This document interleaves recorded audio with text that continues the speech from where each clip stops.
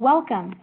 Thank you all for attending today's webinar, Veterans Treatment Courts, Exploring Operations and Issues to Inform the Future. This webinar is brought to you by the National Drug Court Resource, Policy, and Evidence-Based Practice Center, or NDCRC, which is operated by the Justice Programs Office at American University and funded in part by the Bureau of Justice Assistance, Office of Justice Programs, U.S. Department of Justice. Points of view, opinions, and recommendations presented in this webinar are those of the panelists and do not represent the official position or policies of the U.S. Department of Justice. The NDCRC equips the treatment court field with a wide variety of open and accessible resources to help treatment courts run more effectively. Our work is centered on providing treatment court professionals with the information and resources they need to be successful. We're excited to get started and hope you are as well. Our panel today is comprised of researchers in the Veterans Treatment Court field whose articles have appeared in the Drug Court Review's Winter 2018 issue that focused specifically on Veterans Treatment Courts, or VTCs. The Drug Court Review is a peer-reviewed journal established by the NDCRC to promote research on issues relevant to the treatment court field. The journal seeks to inform practitioners and scholars alike about innovations in criminal justice practices, court operations, mental and behavioral health treatment, and more as related to treatment courts. I am your moderator, Elizabeth Brandeberry. I am a master's student in international development, a graduate research fellow in the Justice Programs Office, and an international development fellow for the Young Professionals in Foreign Policy. I serve as the managing editor of the Veterans Justice and Mental Health newsletter, published by the National Drug Court Resource Center at the Justice Programs Office. I previously worked as a VTC coordinator in Montana for three years. Dr. Julie Marie Baldwin is the research director for the Justice Programs Office at AU, scholar in residence in the Department of Justice, Law, and Criminology at AU, research professor at Missouri State University, and editor of the Drug Court Review and the Veterans Justice and Mental Health newsletter. Dr. Baldwin is a nationally recognized VTC expert, serving as a research partner and consultant for a variety of agencies and programs since 2010. To date, she has visited 46 VTCs and is actively working with 18 VTCs. Four of her current VTC projects are federally funded by the National Institute of Justice the Bureau of Justice Assistance, and the National Institute of Corrections. Prior to receiving her PhD, she worked as a court analyst for the New York State Supreme Court Appellate Division and as an Appeals Bureau paralegal and FOIL administrator in the Kings County District Attorney's Office. Dr. Erica J. Brooke is a lecturer in the Department of Sociology, Criminology, and Law at the University of Florida. She is a commissioned officer in the U.S. Army Reserves, where she has spent the last 12 years working in a variety of occupations in both the enlisted and officer ranks. Her recent research focuses on the courts to corrections pipeline, with special emphasis on the military service and crime relationship, problem solving courts, and substance use and abuse. Dr. Brooke currently serves as a program evaluator and research consultant for local criminal justice agencies in the Central Florida region on multiple federally funded grants. Dr. John Gallagher is an assistant professor in the School of Social Work at the University of Arkansas and a licensed master social worker. His research focuses on diversion and reentry from the criminal justice system, with his recent work centering on improving communication between inmates and their minor children. Also, he focuses on veterans treatment courts with evaluations completed in Arizona and ongoing in Arkansas. Dr. Gallagher has 19 years of professional social work practice, serving homeless individuals, persons living with HIV, AIDS, and individuals who receive behavioral health services. Dr. Paul A. Lucas is an assistant professor in the Department of Government and Justice Studies at Appalachian State University. His research and teaching focuses on courts, problem solving courts, program evaluation, and criminal justice policy issues, and he currently serves as the drug court evaluator for the 23rd Judicial District, Kansas. Prior to obtaining his PhD, Dr. Lucas worked within the magisterial, criminal, and problem solving court system in Pittsburgh, Pennsylvania, where he was also a liaison to community corrections offices and local and state correctional institutions. In today's webinar, we will examine a variety of aspects and issues related to VTCs. We'll start with a brief overview of the VTC concept and discuss its dissemination across the country.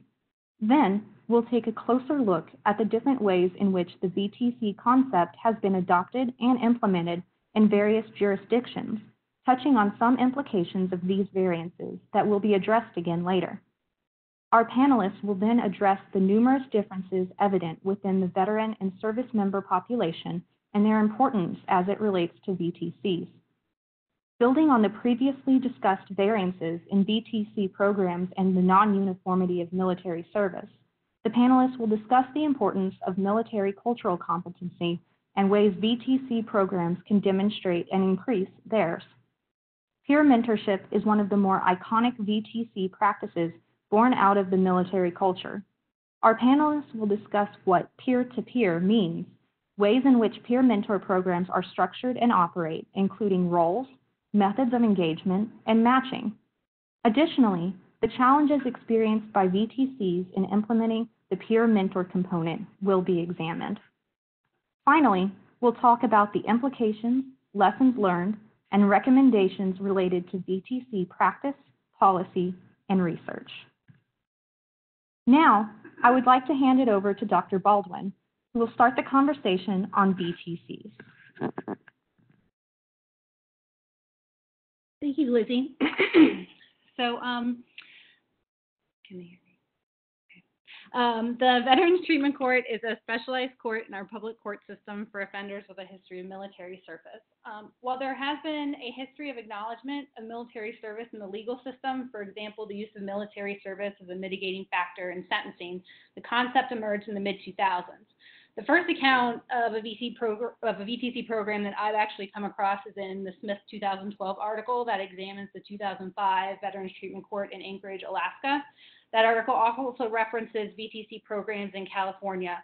Um, but the most well-known and publicized program that I think that we're all familiar with is Judge Russell's 2008 Buffalo Veterans Treatment Court, which is where we see the emergence of the VJO, which we're really going to get into a little later on. Um, Similar to other specialized courts, the Veterans Treatment Court aims to address the underlying causes and correlates of criminal behavior, and VTCs have a treatment court team that adopts a non-adversarial approach to case processing. Um, treatment and service engagement are mandated through the court, and a graduated system of rewards and sanctions is to be used. Additionally, participation is to be voluntary. Um, some differences some major differences between the Veterans Treatment Court and other specialized courts include the inclusion of the U.S. Department of Veterans Affairs. And this is primarily through the Veterans Justice Outreach Specialist or Officer. Um, that individual is actually employed by the VA, and as part of their uh, duties, they can serve as a liaison between the VA and the VTC.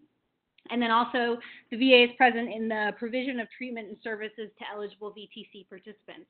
Um, Additionally, the target population for VTCs is essentially status specific. So, at the most basic level, these programs target military, veterans, and service members, while other types of specialized courts, such as drug courts or mental health courts, may focus on particular types of legal or extra legal issues, such as mental and or behavioral health. Um, based on these differences, many of us consider VTCs to be the most complex type of specialized court in operation today. Um, Further, the VTC concept, as we're going to see, has been adopted and implemented in a variety of ways um, across the country. So, in terms of today's scale, basically since the mid 2000s, the VTC has rapidly disseminated across the country through judici- judicial innovation, legal and community actors, and even legislation. Reports really vary on the number of VTCs that are in operation um, due to the data collection methods and their sources of data. Um, some include VTC dockets and VCT tra VTC tracks as well, but the recent reports, I think the last two that I've seen were in 2018, and so the numbers range for those from 407 to 551 VTCs across the country. Um, so really the question is kind of why have these proliferated so quickly? And I know some of my fellow panelists have some um, rationale to why this is the case. John? Thanks, Julie. Um, and thanks everyone for joining us today. So, you know, it's, it's really, it's just been kind of fascinating to watch for the last several years that I've been involved. Every every time I go to write a new review for an article, the number that Julie mentioned of courts known in existence goes up. So um, it's just kind of fascinating to watch. And it, you know, when we start to reflect on it, there seem to be a lot of factors going into it. One really seems to be the very high social regard that veterans are held in today. I think that our country has been trying very hard to not repeat the mistakes of how returning soldiers and other service members were treated after Vietnam. So folks are, even people who are opposed to the wars in Iraq and Afghanistan, there really has been a very wide cultural emphasis on serving those who have served us. And then beyond that attitude, there's just been huge infrastructure to allow these courts to proliferate. So, you know, the drug court model, especially to a lesser extent, the mental health court model, has, you know, since the 80s, courts around the country have figured out creative ways to run these types of partnerships. Judges have developed skills through other problem solving courts of working with treatment providers, overseeing treatment interventions.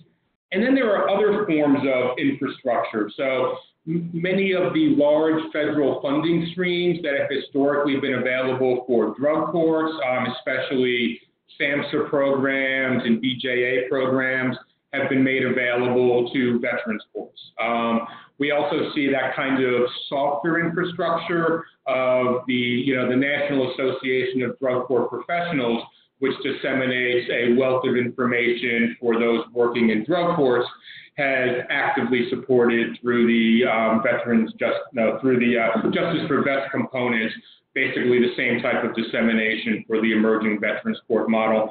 And then just the VA itself has to be recognized as a national bit of that infrastructure. You know, Julie's already alluded to the VJO component that does the liaison work with the courts.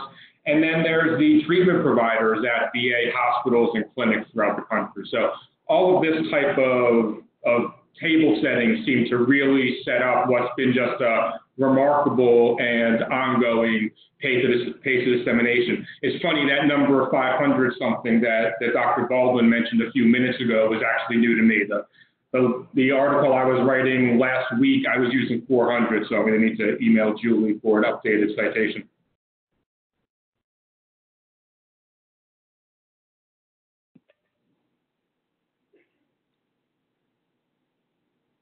Erica, did you have anything else to add to that? John pretty much covered it. The um, the only thing that I would add is that these are relatively inexpensive to actually establish because they are using um, the VA system currently uh, the, for the vast majority of clients going through. So that's at no cost to the court. There's only really an administrative expense. Um, a lot of the courts are piggybacking their veterans courts off of drug courts, so they already have the personnel there and are able to apply for grants to kind of subsidize that additional administrative work.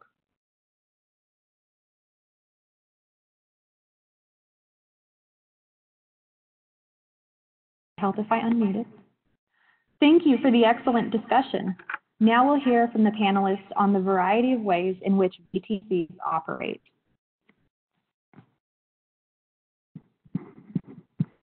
So first we'll start with the uh, veteran court team and partnerships and how we see some of those inconsistencies across applications.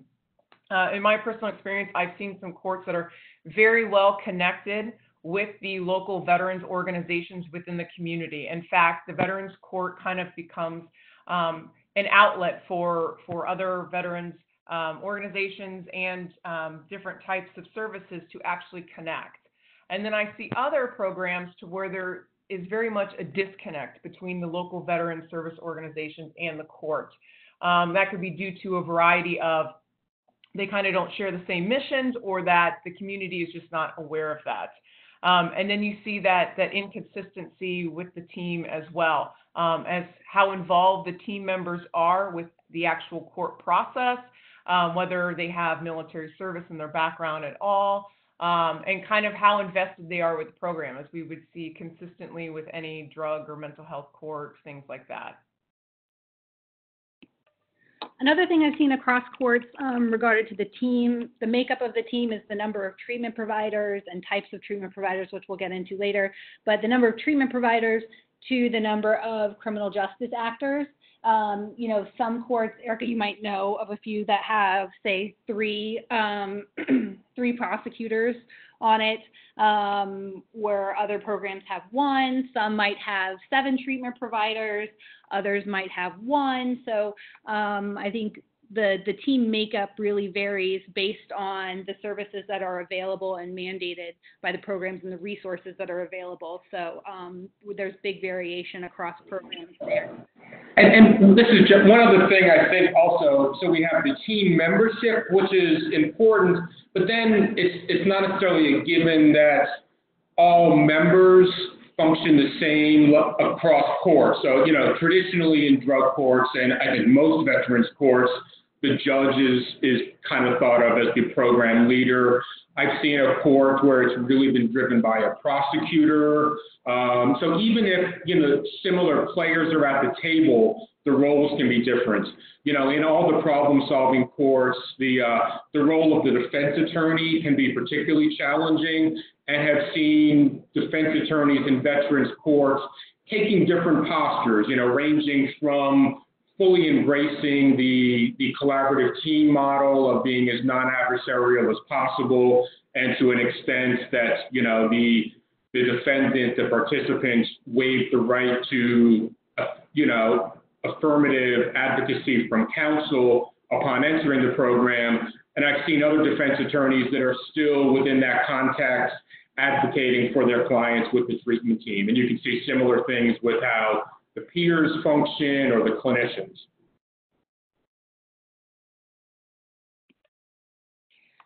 Great, and then moving to jurisdiction, so they also vary across this. Um, so they exist in a variety of jurisdictions. So we have some VTCs that are the municipal, county, there's some are at the regional level with multiple counties. Um, we do have some, a couple uh, federal VTC programs out there. Um, this affects whether programs take, some just take our misdemeanor courts, some are felony courts only, um, some will do misdemeanors and felonies. Some programs are also have jurisdiction over some civil infractions. Um, and then programs vary as to whether they're pre or post adjudication. Um, one thing that I've recently seen that's interesting is the transfer issue. So if there's a uh, an, uh, an, offender with a history of military service in a jurisdiction that does not have a veterans court, but a neighboring jurisdiction does. We've seen transfers where those VTC programs will accept um, participants who do not live um, inside the the VTC's initial jurisdiction. Um, usually, the determining entities for that I've seen be probation because they are the ones who will have to be doing the supervision. The judge, the prosecution, and the coordinator, those are the main four that I've seen had to agree for those and work towards those transfers. Um, with the use of telehealth, um, I think that's become a little more possible uh, for the transfers, but some courts that do take transfers will only take them if they are in a neighboring jurisdiction and can attend court um, either once a month and then the rest of the time through telecommunication. Um, so I think that's kind of something that's interesting for some programs.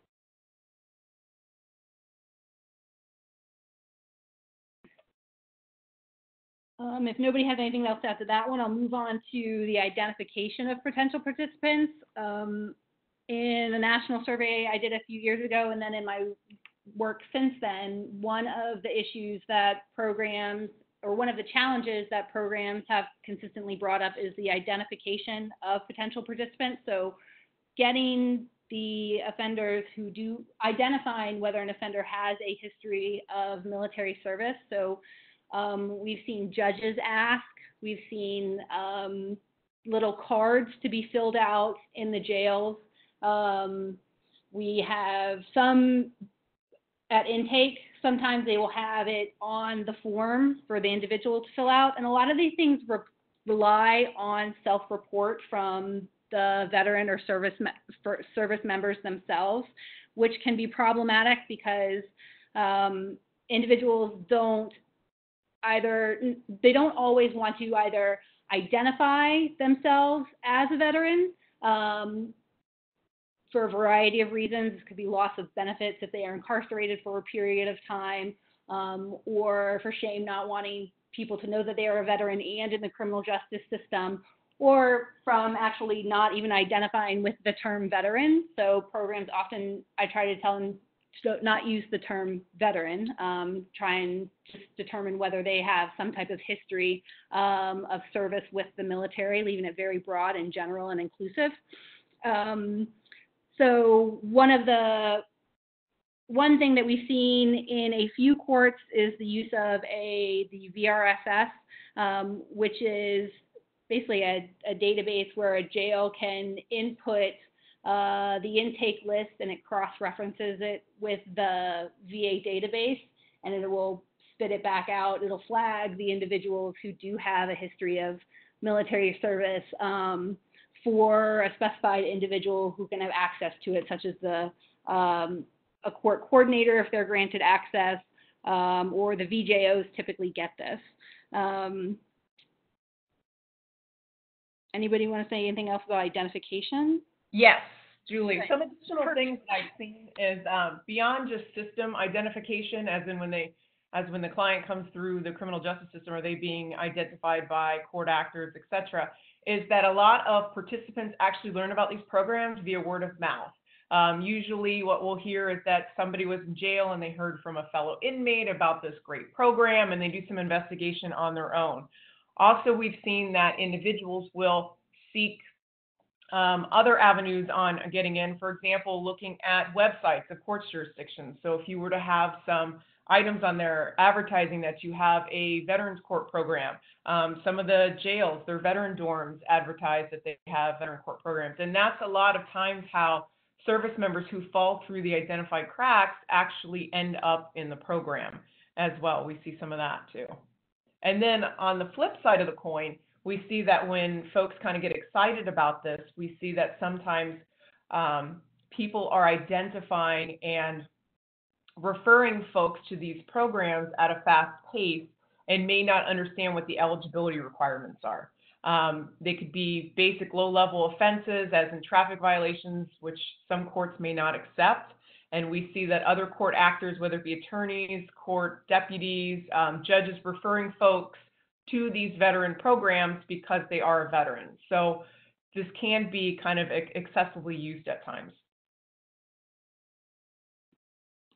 And then moving to eligibility requirements and target populations, uh, these also vary by VTC program. So there are different types of eligibility requirements that we've seen. So military status, VA eligibility, uh, legal charges, and extra legal issues and nexus. So for military status, some programs will only take um, individuals who are veterans, so they are not current service members. Other programs will take those that are currently enlisted as well as veterans. Um, their VA eligibility status, so this often, or military status and VA eligibility status, this is tied to their discharge status. Um, and so programs often have restrictions as to um, the type of discharge that individuals can have. Um, I think for the VA eligibility, a lot of programs that do only take VA eligible participants, potential participants, is because of a lack of services um, in the community. So if you are taking a if your program takes VA eligible and VA ineligible, you have to have you have to be able to provide services for both groups, right? And the VA eligible will get services through the VA, and the VA ineligible will get them um, in the community. Um, charge restrictions, these are often set by um, legislation or um, entities outside of the court's control. So even if they want to take more uh, severe charges or say domestic violence charges or interpersonal violence charges, things of that nature, um, they may be restricted by the policies in their jurisdictions. Um, and then extra legal issues. So we're talking about substance use disorders, mental health issues, um, some, you know, if the services, if they do not have the services for certain issues in an area, they might not be able to serve that set of individuals. Um, and so their eligibility requirements may reflect that. And then there's this, also this notion of the nexus. So the nexus of either the actual crime that has potentially occurred with some type of mental health or some type of extra legal issue that then has to be tied to military service. So some courts have a um, variety of eligibility requirements um, regarding some type of nexus with military service. Um, and then this exclusivity can really result in some small small participation groups for some programs. So, you know, we've seen programs that have caseloads of 150, and then I've seen them down to one to three individuals. And sometimes this is because their eligibility requirements are either so exclusive or they don't really understand the needs of the veteran population or military service member um, population in their area, and their eligibility requirements aren't really reflecting um, the needs of the, the area population.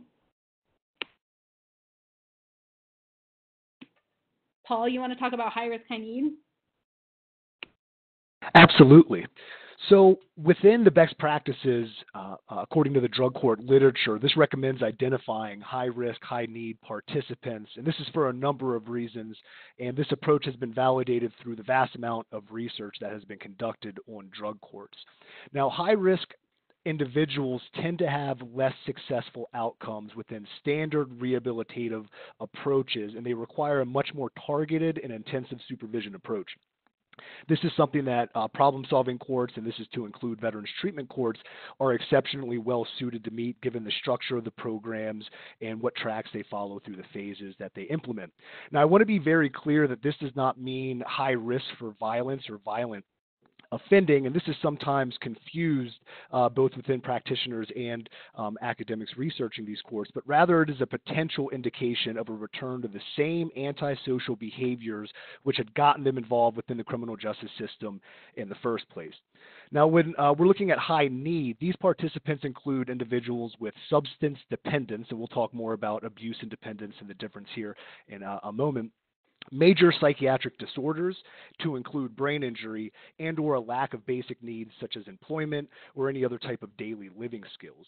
Now, given the high prevalence within the veteran population of PTSD, uh, TBI, traumatic brain injury, and of course the potential for substance dependence in order to self-medicate, research would suggest that VTCs should be able to effectively treat a high-risk, high-need population and decrease future contact within the criminal justice system. Now, I also want to point out that just because an individual is arrested for a drug related crime, this does not necessarily mean that they are dependent on that substance. So we have to make that uh, uh, discernment, discernment there that not all individuals coming in with a drug related crime are dependent on that. And many substance users are uh, assessed to be not dependent on their substances of choice, meaning we have to be very careful with an intake and assessment of these individuals to make sure that we are putting them in less intensive alternatives instead of the high impact uh, VTC uh, court dockets. Now, when focusing on high risk, high need populations, problem solving courts have been shown to reduce reoffending twice as much as programs that serve less serious offenders, and they return approximately 50% greater cost benefits to their communities because, of course, they're focused on higher level offending and more uh, uh criminal persistent participants within those courts.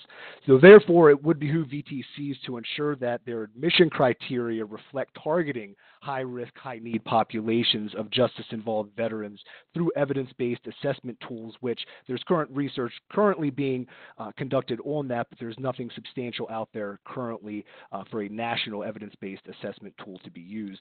And one important issue that I'd like to point out is that in some VTCs, participants are not adequately screened by the VA if they're using VA services, which many of them do, until their admittance into the, the program itself. So essentially, they're putting the cart before the horse, and this is an issue that will be discussed more uh, in more detail in the coming slides, uh, according to who are we bringing into these courts, what are the criteria, and who we should be focused on.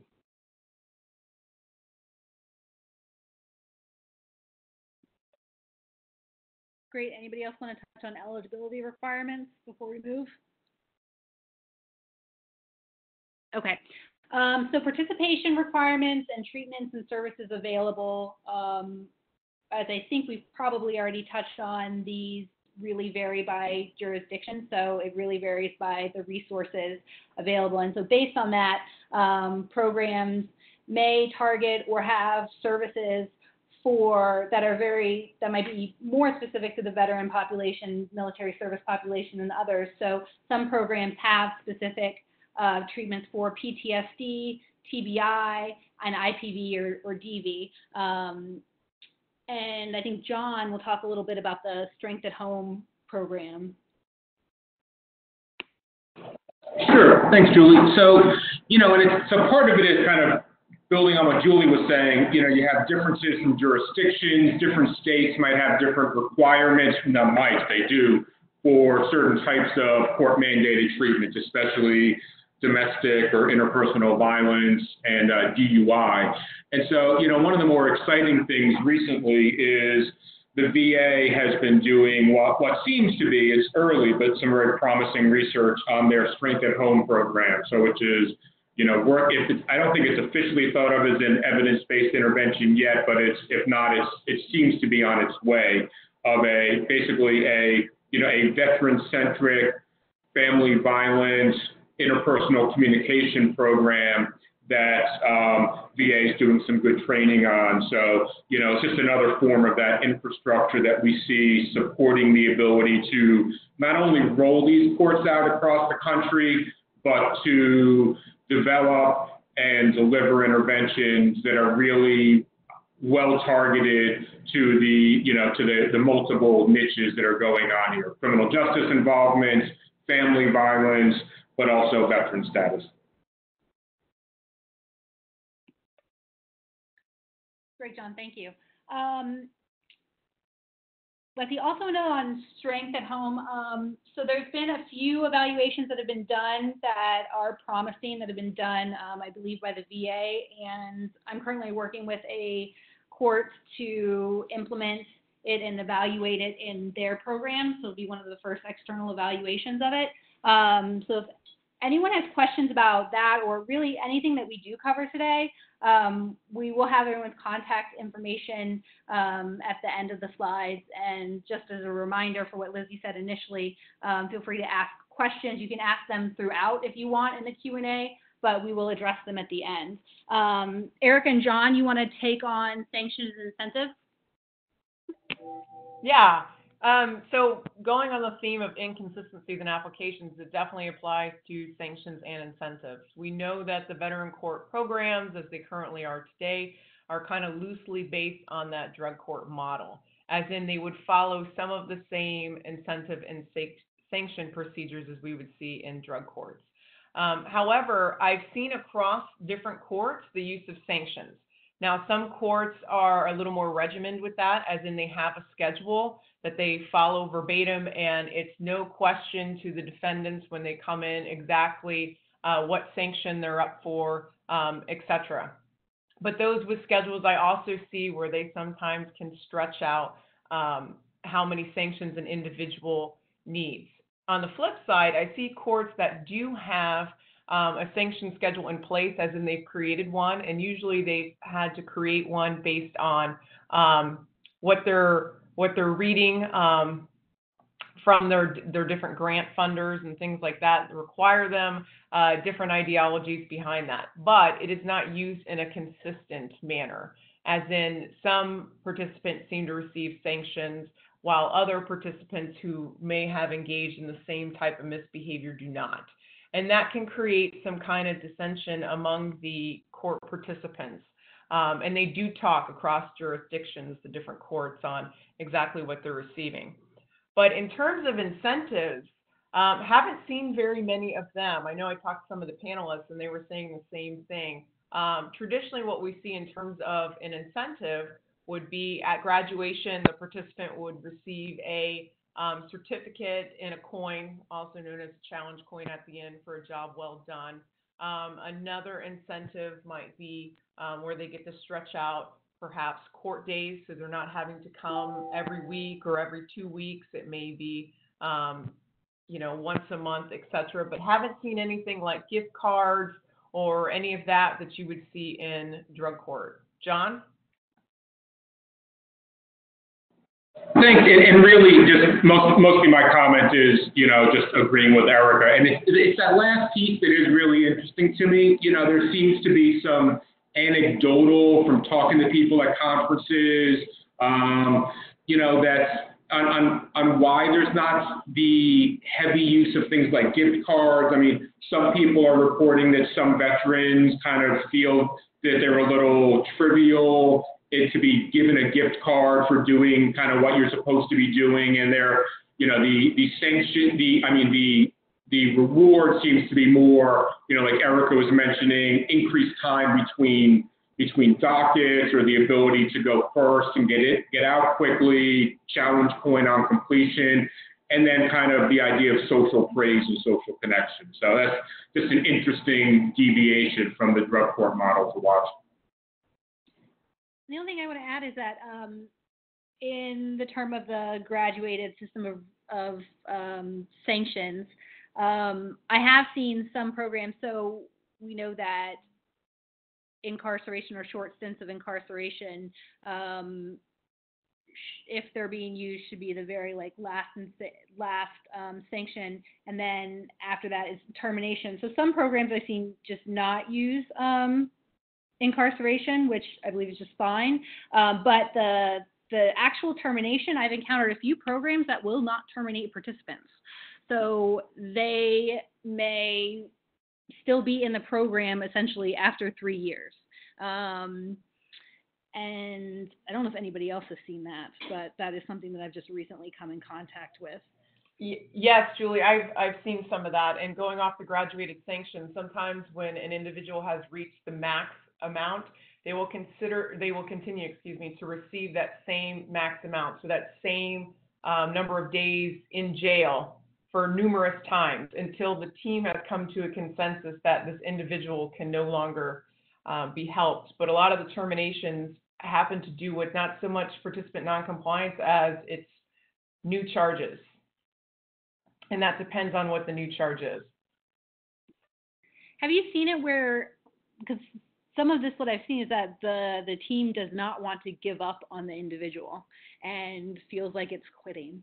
Um, I find that um, interesting. I've seen some of that, but I've also seen some of the opposite where the team is very much um, on board with saying goodbye to the participant, but it's one powerful court actor who has um, the most say who really puts the kibosh on that. And it's it's interesting. I've I've seen that last phenomena that Erica was mentioning, where there's if you if there was the ability to have a vote of the team, you know, 60% the person would be gone, but one or two strong actors. And that's also something. The most recent example that I'm thinking of, I've seen in the drug court. So it's certainly not unique to veteran court, but I'd be curious over time if there's even greater reluctance among some some teams to terminate a person who's who's served in the military versus someone who hasn't.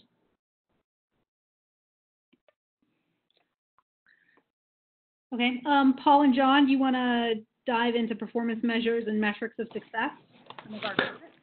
Yeah, sure. Um, so recidivism tends to be the standard measurement used by many problem solving courts, and this is both within program and post program assessments.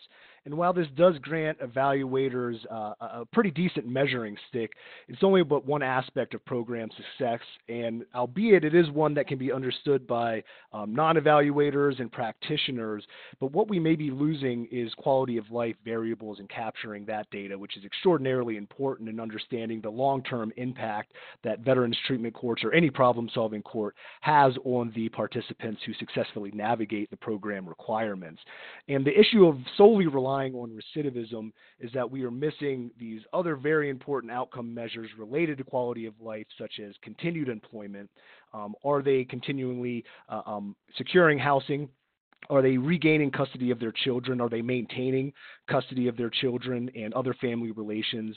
Continued sobriety, and of course, desistance from uh, typical antisocial behaviors, uh, just to name a few. And an important aspect to this is tracking past graduates and even program participants who have been removed from the program in order to conduct these follow up surveys and interviews. And this will ensure that this vital information can and will be uh, captured for assessment purposes.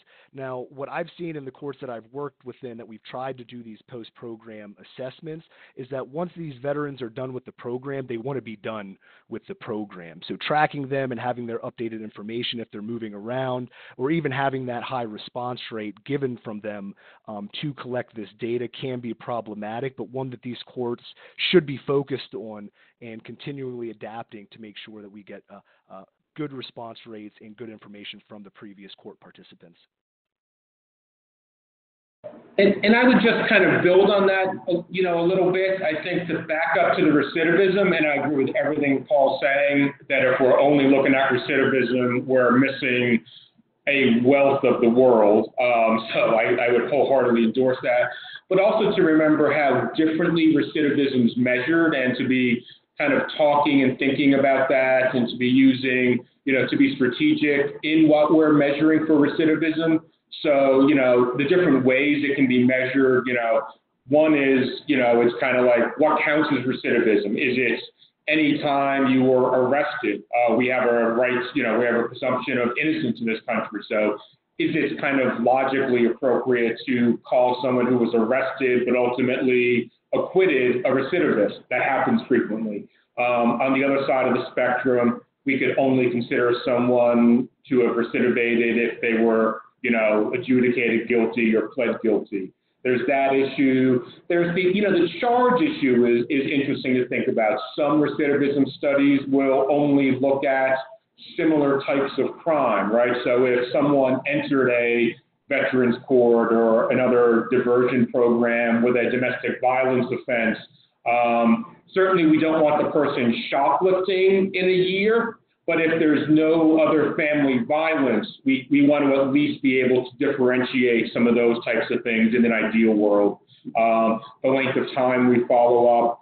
And then also, you know, to build on Paul's point about the quality of life and the social measures, they're important on their own, but they're also important, you know, if we have enough people in a, in a particular court that's being studied or if we're pooling multiple courts, we can start to look at them and how they relate to each other, right? Is there a reason to think that, you know, treatment effect is different based on people who secured housing or, or put, you know, or, or improved family functioning with a spouse? Uh, continuing to build on John and Paul's points, um, looking at the use of data amongst the courts is obviously very inconsistent. Some folks use data to actually improve the programs, while others will use the data just to check the block on the funding requirements. And if programs were able to actually collect sound data, we could see a lot of changes and improvements in these programs and be able to do that cross court comparison to see kind of what's working and what's not working um, amongst these 500 different courts. Absolutely, and, and touching base on uh, a previous slide about the variability with how these courts operate, what I've seen and experienced is that in courts that are pre-plea, if new charges are picked up, as John was saying, it never resulted, if they successfully navigate the program, it never results in a conviction. That will be added to the, uh, uh, the Veterans Treatment Court docket and then therefore will be expunged versus a court that might be post plea, where they will have to plea to that charge and it may be counted as recidivism there. And that's why we can look at this variability between courts of any type of specialty courts where some have a recidivism rate of as low as 3% that have been operating for years upon years years, and others have a much higher recidivism rate. And it's just how they're capturing what is recidivism, and a lot of that goes into the variability of court uh, procedures.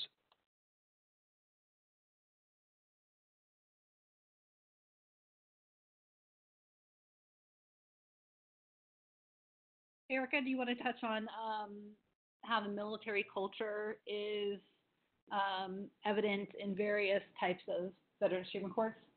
Yes, we actually see um, the different uh, proliferations of military culture in the courts, um, not only via the court actors and the teams, but also the participants themselves. So you'll see differences in courts um, in terms of looking at the court actors. You will see that a good portion of the court actors um, maybe have military experience, so they're very on board with the Veterans Court, and you can see how kind of um, their energy exudes on the other team members, and it's a very um, collective, cohesive um, team. And then others, you see it very sterile, very that typical adversarial uh, courtroom process. Some folks may have service, they may not have service, but that doesn't really come into the, the court arena.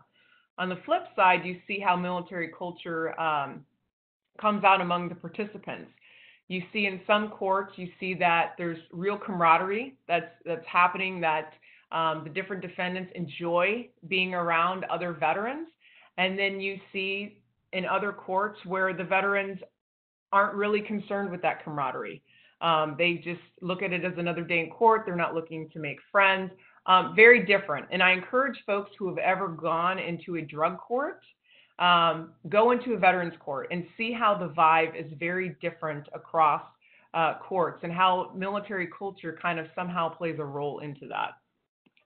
And really, I would recommend not just visiting one veterans court, but multiple. Um, so I have walked into veterans courts where I wouldn't even know that it's actually a veterans court, except that I'm there because it is supposed to be veterans court. Um, I have been to veterans courts that start with some type of ceremony or color guard at the beginning. Um, you have the flags, you have the branch insignia. Um, you have you know the verbiage that's used. I have seen um, a judge in a camo robe. So it really varies uh, by court um, and so yeah i really would just encourage people to go to multiple.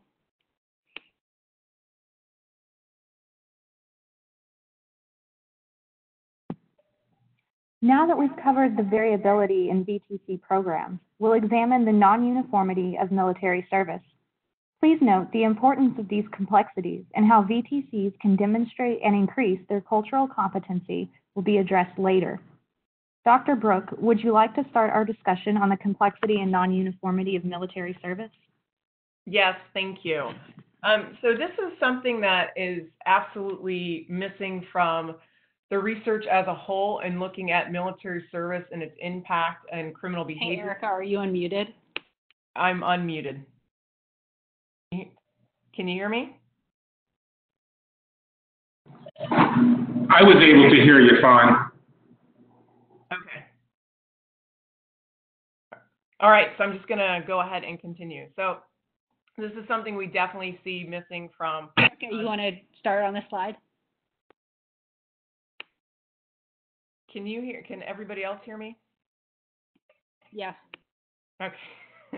All right. So technical difficulty. Okay. So take three.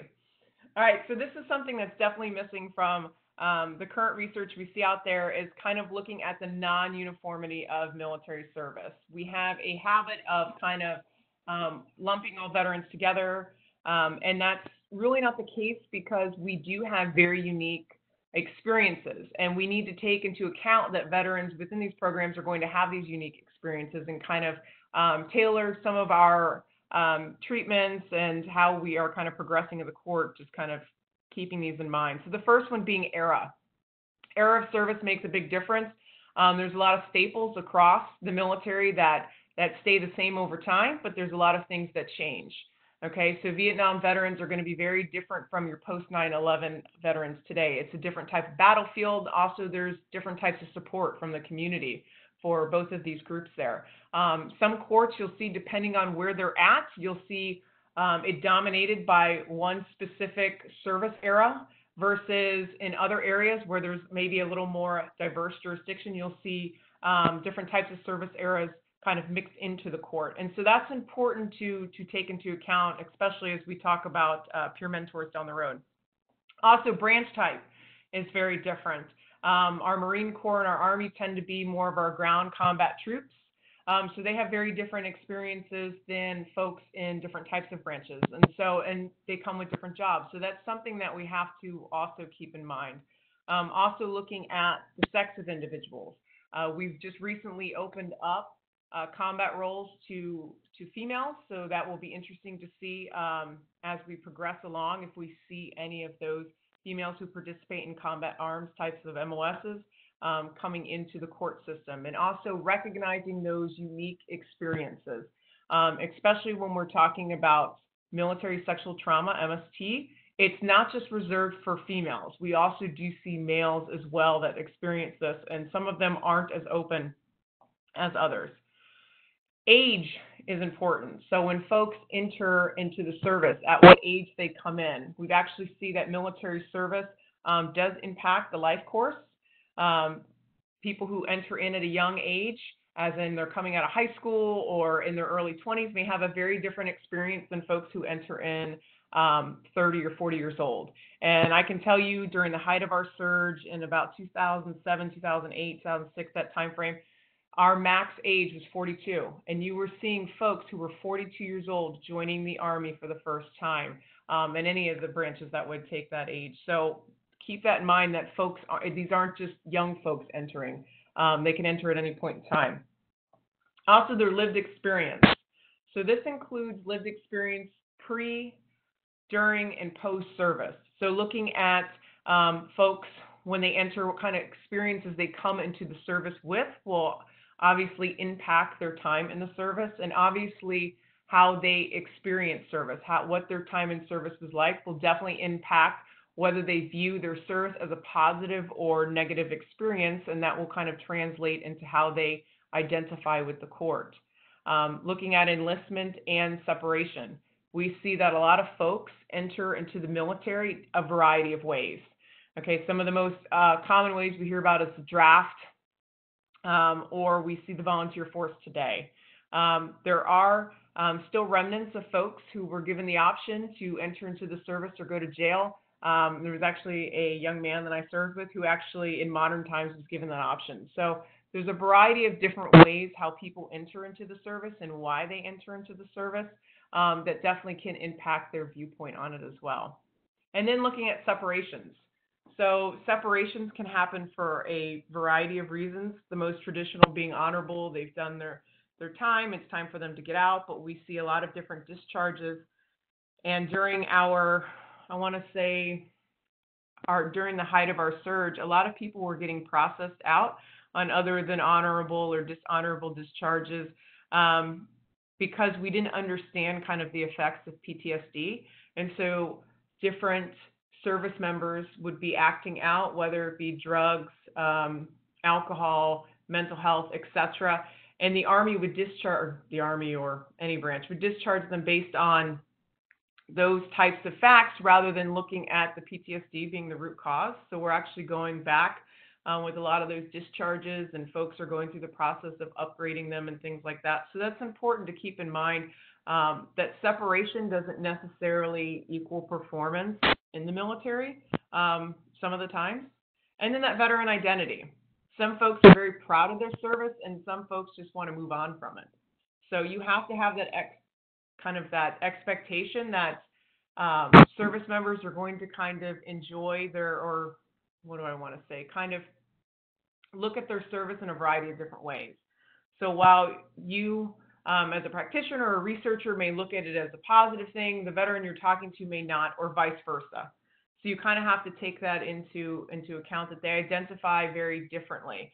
And a lot of times you'll see veterans when they're connected with each other kind of look at each other like siblings, um, you know, to outsiders, but then even amongst themselves, we see a lot of that diversity. As in, we see some veterans within the courts saying, well, I'm not like one of these guys here. I don't have all these issues. Or on the flip side, you see veterans saying, hey, I really like how um, other folks who have these issues just like me are in this program and I'm not alone. So hopefully that clarifies a little bit of difference um, between the non-uniformity of military service which leads into cultural competency. So generally we know the importance of cultural competency, that it can improve efficacy and it can provide a context for symptoms and conditions. Um, so understanding uh, the complexities of service and understanding more about the military culture, I think is very important for these programs.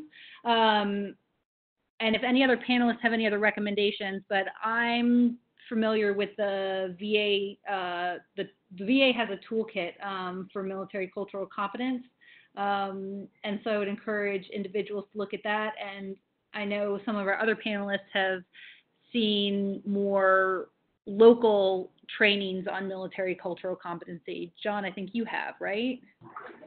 Yes, definitely. And, and, and so I would think, you know, part of this is knowing your community, what resources exist. But like in Arizona, for example, there was a very robust um, military families coalition that, that routinely was running good quality statewide trainings on, you know, military culture.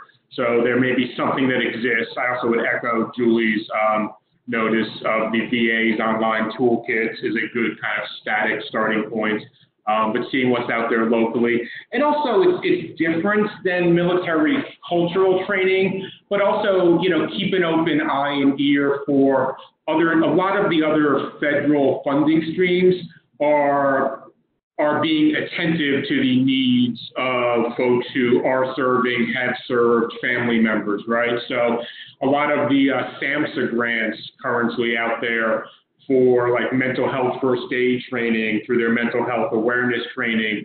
There's like specific modules on mental health first aid, which is just a good basic overview of signs and symptoms and how to refer for people who aren't behavioral health professionals. And the, the folks who developed that general intervention have started spinning off subpopulations. So they have one for law enforcement, they have one for schools, but importantly for this conversation, there's also a mental health first aid for the veterans community. So think kind of broadly and creatively as you patch together your resources. And just one other comment, you know, kind of back up to, to what Erica's table setting on all of the diversity you know, within the within the military veteran umbrella. You know, I, as a social work educator, we talk and think a lot about cultural competency, and it's just so important to remember and wrestle with both, like all of the, you know, we there's all of the diversity that exists between groups, whether it's we're talking about, you know, sexual orientation or ethnicity, there's also the diversity that, that exists within groups. So just as if, you know, you wouldn't go to one cultural competency training and know everything about an ethnic group or be able to work equally with people under that broad term, the same thing applies to veteran status for all the reasons Erica was laying out so well.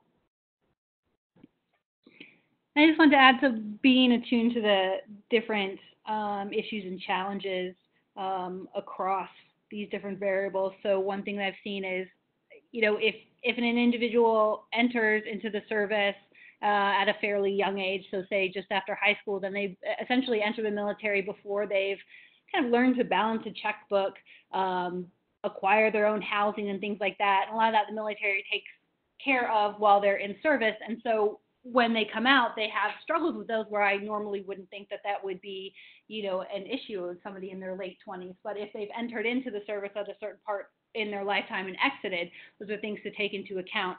Another one is um, suicide is a is a major issue for this population, and so um, I haven't seen too much of this, but I'm really trying to promote this that uh, VTC team members um, do some type of training in suicide prevention. I know that I have QPR has one that's specific to um, those who work with veterans. Um, so that would be something to check out for for teams also.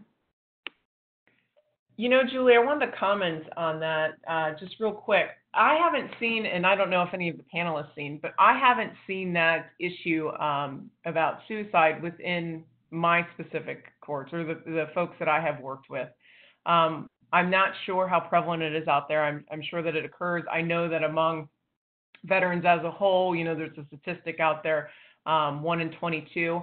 But I'm wondering if the if there is a lack, if the lack of um, folks who enter these programs um, engaging in suicide, if if that's due to their connection to VA resources, because a lot of the um, issues that we see when it's tied to suicides is because the veteran couldn't get help. They couldn't get the VA. The v, VA put them on the phone, on the waiting list, whatever it may be. So I'm wondering if this kind of this connection to the VA through the vet court actually helps with that. It could, and that's something really to look into. And it's also, you know, some people just don't reach out for help, and it's also an issue in rural areas with access to service. Um, and so, you know, I've been on some projects that focus specifically in rural areas on suicide prevention among veterans. But um, I unfortunately have uh, worked with a few programs that have lost participants to suicide, and um, it has not happened in the majority of courts that I've worked with, but it has happened um, in three of them. And so over the years, and so I, I still think it's an important issue. And I, it's interesting that I don't see more programs, um, you know, thinking about it on the front end.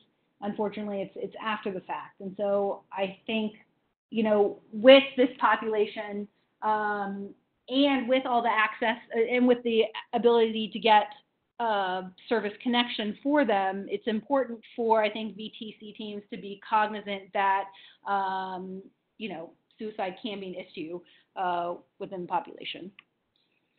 You know, I, I haven't heard a lot about this, which is shocking for the reasons we all know. What I have seen, though, on the positive side, one of the courts I've worked with in Arizona has really leveraged some of their other partnerships with local behavioral health providers and and you know it's it's a large city with large city resources so this this doesn't roll out well to a rural community but they've actually been able to set up a crisis mobile team that that that have a a number of teams have at least one veteran on the team. So they're actually able to deploy people with mental health qualifications and a veteran peer. So that's a service that's available to veterans participating in that particular veterans court and also to other folks in the local veterans community. And that really came from that type of smart partnership that, you know, at the beginning we were alluding to who are your team members, you know, sometimes the team members aren't even those people that are like doing the case staffings, but they're they're the team that builds the broader response system.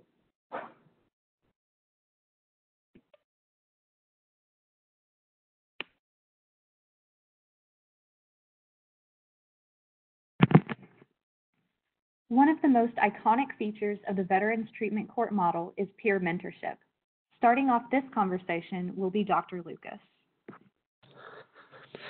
Thank you. And yeah, and while it is one of the most iconic features of VTCs, it's one that we know very, very little about, which is surprising.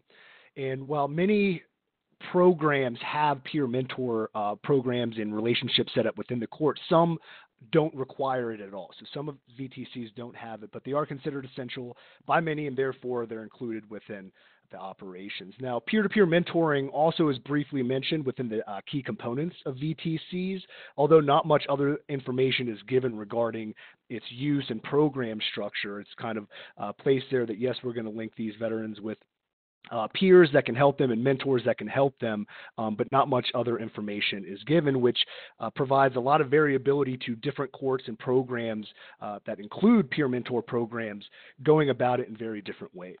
So the inclusion of these mentoring programs within VTCs speaks to the camaraderie, I feel, uh, shared by current military members and veterans, and they represent a distinct subculture which places loyalty to its members above all else. And that's really what VTCs are structured around in helping veterans veterans and veterans, uh, other veterans helping um, other service members and veterans themselves. And this is referenced in the Leave No Veteran Behind mantra that in many of the courts that I've looked at and worked within um, was number one, right? A veteran is a veteran. We're not going to leave any veteran behind. The goal of these programs is to allow the court participants ac- access to a friendly face, per se, uh, who hopefully understands what they are going through and they can act as a sounding board to the participants. And this is going to vary within contact uh, and frequency of contact, which we'll talk about briefly here momentarily. Now, it's important to note here that, um, and I've experienced this in both the interviews with the mentors within uh, certain courts in a northeastern state, as well as uh, casual conversations with mentors that um, I've become friendly with, that the mentors themselves can become triggered, and that many of these experiences that this peer mentor programs are substantiated on may be negative experiences. Um, for example, combat experience. So we have to take care, and there should be some type of protocol um, which should be included as to how to navigate these circumstances and provide proper relief, not only to the mentees who are experiencing uh, um, maybe mental distress, but also the mentors themselves. And this could bring up a lot of negative connotations and, and a lot of experiences that many of them have not thought about for quite some time. Now, program structure for mentoring programs varies greatly, as I, I mentioned before, and there is no standard or evidence based approach that currently exists. So, uh, this leads directly into and lends itself to the peer mentors not having a defined role. And again, these mentors that I've researched and had conversations with, they're not able to effectively define what their actual roles are as it relates back to the court and this may produce varying outcomes as to how they approach their roles and what they may be willing to share with the court, if anything, um, with the court. And the defined roles and, and sharing with the court, we see a lot of these themes coming up within the confidentiality. And the courts understand that they want to keep the, the mentor mentee relationship confidential so that uh, the mentor is not looked at as an agent of the court or you know another probation officer that's going to run back to the court. And that's good, right? So these mentees um, have confidentiality and they can talk about issues that they may be experiencing. But VTCs may choose not to include these mentors in pre court discussions or in other treatment team meetings. And again, um, whether it be perceived or actual confidentiality, this is what they're trying to enhance. However, I found that this also creates distance between the treatment team and the mentors themselves. And the mentors would comment that they are not part of this court. They are there for the veterans themselves, they're there for their mentees. But anything regarding the court, they are uh, separate from, they are a different entity and they choose to represent their own interests. And what I've heard a lot is, you know, I just do what I think is right, or I'm, I'm learning on the fly. If I think that it's right to contact maybe probation or the VJO, I will, but there's no standard protocol about who they should contact and when, outside, of course, if that mentee is going to harm themselves or somebody else. So this could be placing these mentoring programs in conflict with many of the court requirements that are set up to enhance and help these veterans. Um, it could possibly be harming them in some instances as well. And we see this also in the lack of protocol and uh, any type of standardization within engagement methods. These are also not stipulated or standardized across programs that have mentoring uh, components, leading to differences in frequency of contact between the mentors and the mentees, and of course, the types of contact.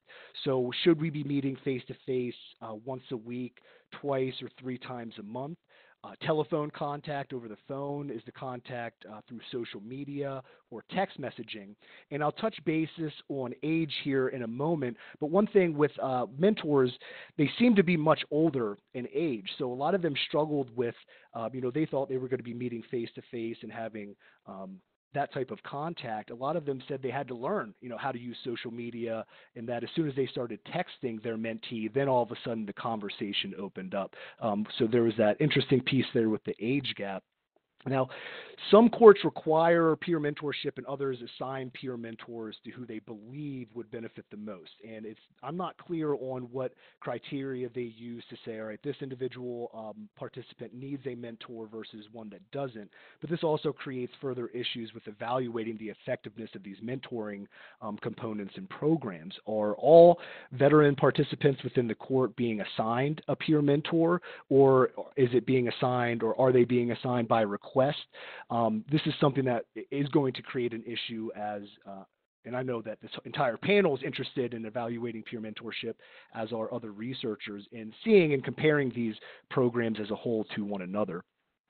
Now, within matching, and this uh, goes back to uh, uh, some excellent points that Erica was touching base on uh, a few slides ago, mentors and they're matching. So one thing that I've seen frequently is the mentors say, you know what, it doesn't matter what branch of service, what era, they're veterans, I'm going to help them. But in the same breath, they would also say, you know, I'm I was on a uh, I was in the Navy. I don't quite understand somebody who had boots on the ground in a combat role um, within you know Iraq or Afghanistan. So while they're willing to be matched up with uh, anybody within that court they want to help, these shared experiences versus era of service, MOS, and roles within the military, um, all these things certainly should play a role when the courts are considering matching. And as I said before, mentors are often older than the participants, and this does provide a disconnect um, between the mentors and mentees. To what extent, we're not quite sure. We're not, we don't know if this is a large uh, issue or an issue at all, but at least in my uh, research, I've come across numerous instances where um, there may be a disconnect there. And of course, as Erica touched base on before, differing service eras and shared experiences relating to branch of service and time of service. Uh, another point Erica touched base on is uh, military sexual trauma and MST. And there are few females that I've come across in the role of mentors within these courts. And a lot of these courts did have female veterans participating within them. And what I, through discussing with them and talking with court personnel, that they were very reluctant, A, to be matched with a male mentor, um, and quite possibly it would reduce the potential positive impact of having a strong relationship with their mentor themselves. And the male mentors were aware of this as well. They they felt uncomfortable talking about um, if it did come up MST um, uh, with these female veterans. And of course, as Erica also pointed out, MST also impacts male service members and veterans as well, um, but just greatly reduced in reporting and quite possibly what they're willing to discuss as well.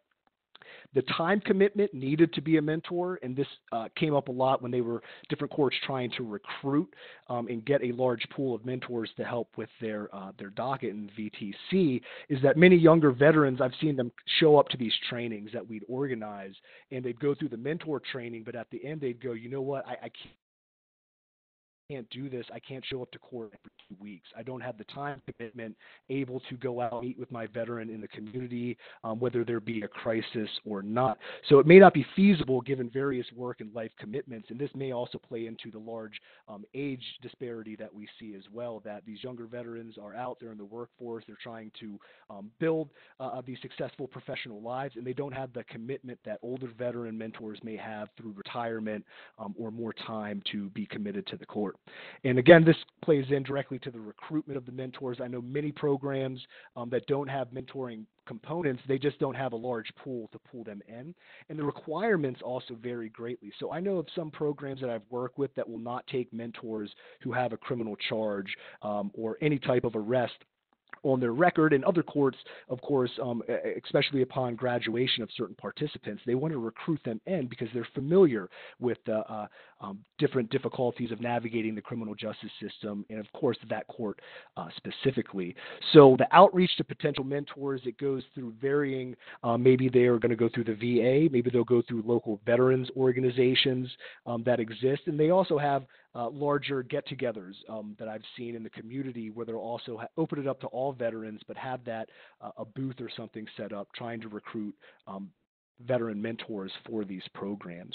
And of course, uh, kind of overarching this recognition of this non uniformity of service. And while many of the mentors I've spoken with state that, again, a veteran is a veteran, they bring up the difficulties of understanding uh, um, kind of these shared experiences, especially with younger service members uh, uh within the post 9 11 veteran era. And then, of course, the all important training. How do we train uh, veteran mentors for these courts. And again, as with all these other components, it varies greatly, which lends itself to the lack of defined roles and how they are to approach their mentees. Now, there are certain, um, I know that uh, Justice for Vets and NADCP have veteran mentor boot camps that they can go through, um, but there's no uniform across the nation uh, training, whether that be online, and can they make it to these other trainings, these national type trainings, uh, due to travel and cost, um, makes that increasingly difficult as well.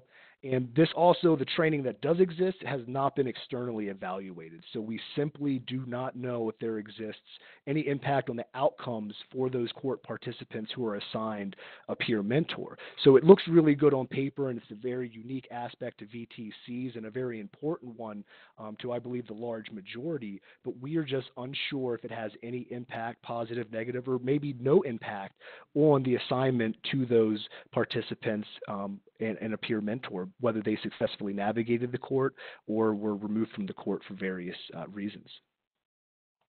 So a couple quick things that I'd like to touch on. Um, first is that, you know, uh, for Justice for Vets, um, their, their mentor boot camps, um, you know, in the solicitations for funding, um, you can request to attend. Usually that's type, part, part of your um, grant proposal for when you're doing a um, implementation or enhancement grant, you can write in to attend um, the trainings.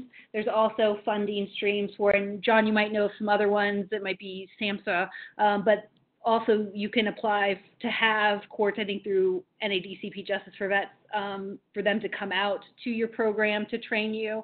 Um, there are some, I think, external evaluations undergo uh, in progress right now, um, especially focusing on the mentor components. I know I'm involved in several of them, and John, I believe you have a few going on right now. So I'm very curious to see um, what the results are from those and really researchers kind of working together to gather some of the same data and metrics across programs to do kind of a quasi multi-site study. Um, I know several of us are, are engaging in some of those endeavors um, that should hopefully be really helpful in the future to inform these peer mentor, the peer mentorship component of these programs.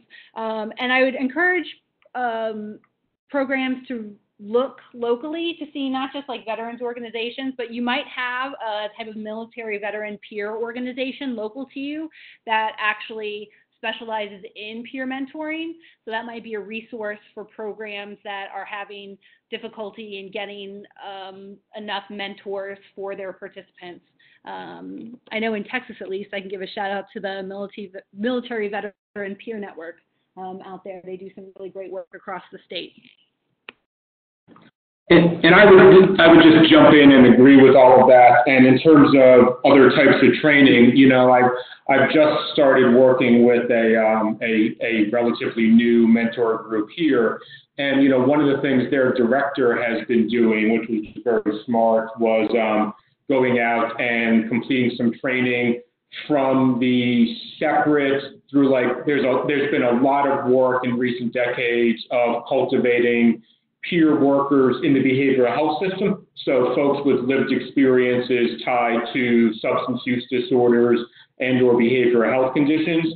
So, you know, here locally, one of the mentor leaders has been looking at what can we learn from them. So there's a network of training and resources that exists.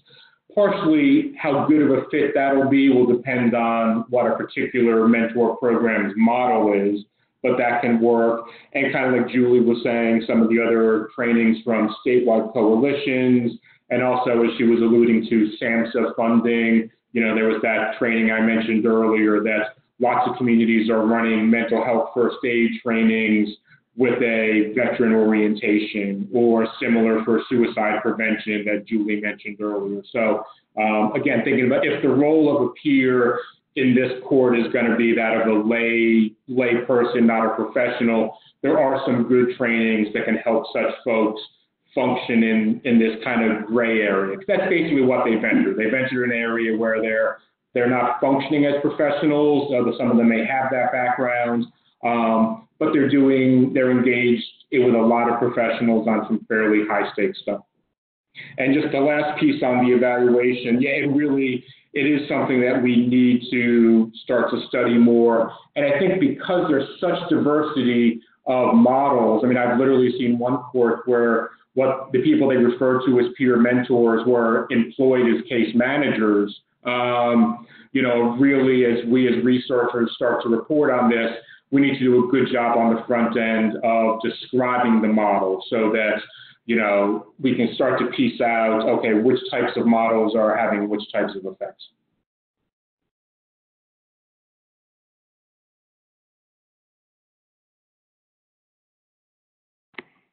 As we wrap up our discussion, it's important to understand the implications of everything our panel has discussed so far. Who would like to begin? I could begin with this here and touch base on continued growth. So currently, veterans represent uh, less than, uh, slightly less than 10% of the U.S. population, and the overall number of veterans within our population is expected to continually decrease. And this is largely due to the passing of World War II, Korean, and Vietnam era veterans. However, VTCs will likely continue to emerge alongside this, uh, alongside the decline within this population, and that's as referenced as uh, John even mentioning. I was uh, uh in a 400 range with current VTCs, and you know Julie mentioning that now there's uh, more than 500 potentially. So they're they're growing exponentially. Now, while there is this predicted decrease in the overall veteran population, diversity within the vet population is increasing, and that, kind of harks back to what John was mentioning about um, within group differences. So um, we have to be very careful when looking at um, the diversity within this group of veterans. While it is decreasing as compared to the general population, the diversity within that is being much more reflective of the society that they are serving. So the rapid expansion of VTCs is not a, interestingly, it's not a direct response to any type of increased threat posed by returning veterans. And this maybe goes into the stigma that is attached to VTCs and what some people think. Um, incarceration rates are actually much lower among veterans than the general population. And this holds true. Uh, Post 9 11 veterans have lower rates of incarceration than any other era veterans within the United States. Also, uh, this is not uh, the continued emergence of veterans treatment courts is not due to an increased uh, criminogenic need of the veterans. And while veterans are at a higher risk for PTSD and traumatic brain injury (TBI), there exists no causal connection between these factors and increased offending. And in fact, the same factors that increase the risk of offending within the general population also increase the risk of offending within the veteran population as well. So we're looking at this rapid emergence of VTCs and not linking it with uh, the growing population of veterans, um, and certainly not any type of threat posed by veterans returning home that would uh, somehow correlate with uh, the increased need of more and more VTCs that we're seeing. And the number of veterans currently within the CJ system have decreased as treatment courts have increased, which again highlights this is not why they are being rapidly adopted um, and uh, increased across the nation. Now, this may be, um, while we're seeing this increase in uh, VTCs and this uh, uh number of veterans in the criminal justice system decreasing, this could be back to the difficulty in identifying veterans entering the criminal justice system. Do they identify as a veteran, um, as we discussed uh, earlier within the webinar? So the question is, why do we see this increase um, given all the um, um facts that I just stated? And one of the theories or reasons that could be behind this are unfounded fears, and we saw this with post World War II um, era veterans as well. And this resulted in this proliferation of uh, there was a few court cases that were created that uh, courts were allowed to take military background, and this happened before we saw any increase in offending, and certainly didn't amongst that population. So that may also be driving the increase in veterans treatment courts as well.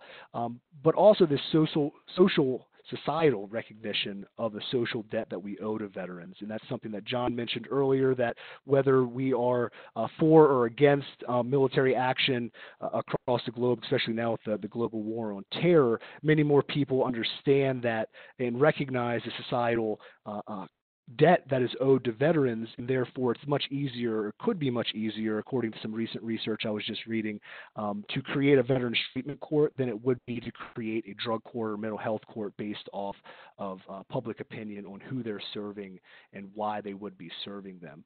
So we see this massive uh, proliferation, this continued growth of veterans treatment courts um, that doesn't quite match up with what we know about the current veteran population and certainly um, uh, the lack of increased threat or risk that they pose, which I find very interesting.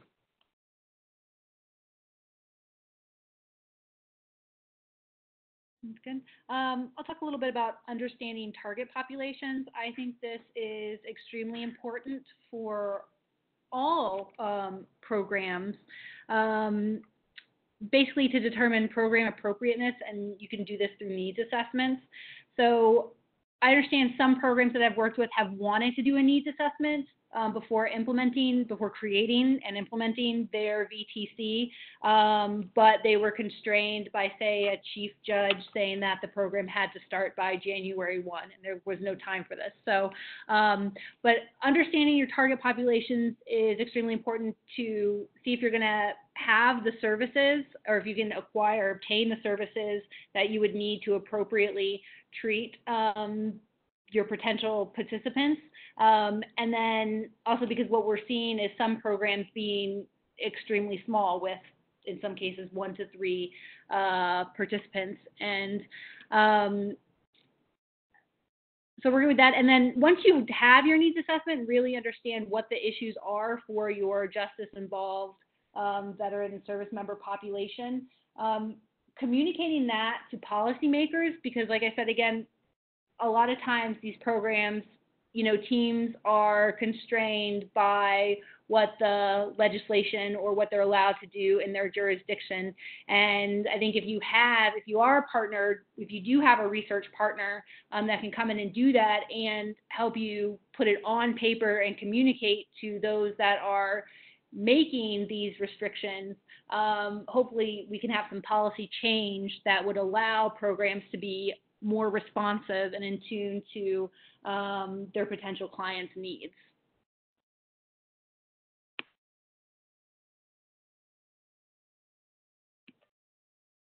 Erica, you want to start on information dissemination? Yeah, so information dissemination, it's it's important that we don't perpetuate misinformation.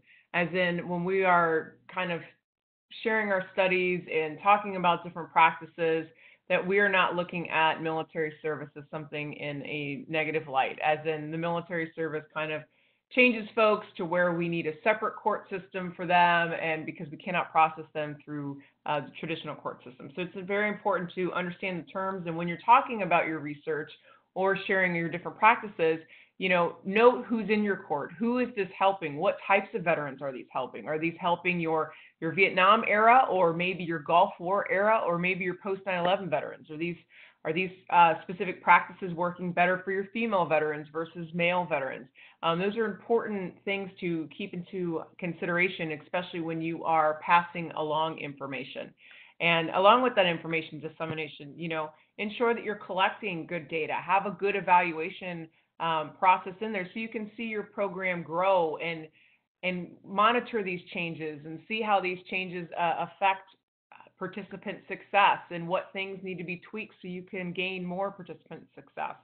So those are some of the key ideas that I have there. So basically don't perpetuate misinformation and continue to you know use the proper terms and to discuss the differences in your veteran participants. I'd like to follow up on that really quickly. Um, for those of us who are doing research in this area, it's really important to um, make the concerted effort to get our research out to non-researchers and those actually doing work in the field. Um, there's a slide that will be coming up that talks that touches on where you can um, where practitioners can access some of this information. Um, and how and different ways that researchers are trying to make information available um, to really impact practice and policy. Um, but I think as researchers, since researchers are on the panel, so if there's any researchers in the audience, um, just to really try to make that concerted effort to take your research to the next level um, and really make an impact in, in practice and policy. John, do you want to cover implementation fidelity? Sure. So, you know, so it's so as, as, we've talked about a lot throughout this, the you know the the evidence base on veterans courts is emerging, but I wouldn't look anyone in the eye and say that you know the veteran court model is you know is um, an evidence-based intervention yet, but we're relying very heavily on the drug court model. And as we've as we've talked about here, there's there's there's very obvious points that that veterans courts stay very close to drug courts, and there are some obvious places where they're deviating, and then there's some variety in between.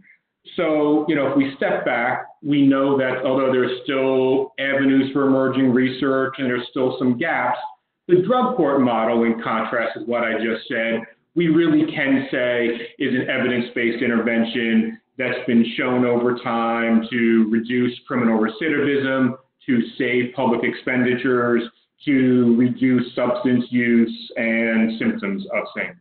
Um, so, you know, our, our logical best starting point is basically the lessons that we've learned from the drug court model and trying to be faithful to them. But then also we need to build in that measurement piece. Are there, we've talked about, you know, in the drug court model, we know from research, rewards and sanctions are a huge part of it anecdotally, the folks of us around at this panel are saying we're seeing pretty different use of rewards in particular, but also sanctions. Um, we've talked about the, you know, the, the signature edition of the peer mentor model that is intriguing, but pretty much largely untested from an empirical point of view at this point. So, you know, as all of us as practitioners, as researchers, there's a there's an obligation on us to kind of start with what we know, but know that it might not fit perfectly, and look to describe our findings transparently, to talk about things when they didn't work, right? Both researchers and practitioners can fall in the trap that's very understandable of, well, this didn't seem to reduce recidivism in the way I wanted or hoped, so good Lord, why do I want to share that information? And it is actually some of the most important information we have to share. So, and just the, the last point here is just remembering all of the diversity that we've talked about, right? We've talked throughout this, this seminar on the military specific diversity, the diversity of the courts themselves, but let's also remember that we're talking about criminal justice in modern America, and we need to be factoring in diversity along race and ethnicity and class and behavioral health. So um, it's a fun and a challenging time for those of us trying to get our heads and our hands around this new model.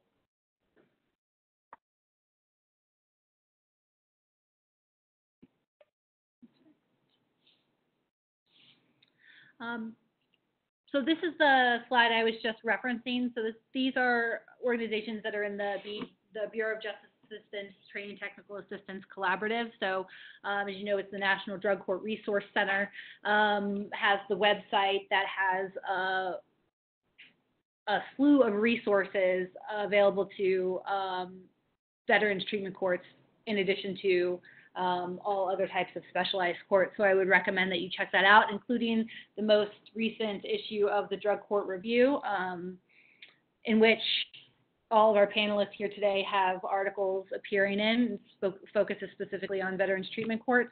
Um, you have the National Association of Drug Court Professionals, who provides training and technical assistance um, to VTCs through also NDCI and Justice for Vets um, and their conference is coming up, but their website has a large amount of resources available. And also the Center for Court Innovation has some really great stuff uh, for veterans treatment courts and strategic planning.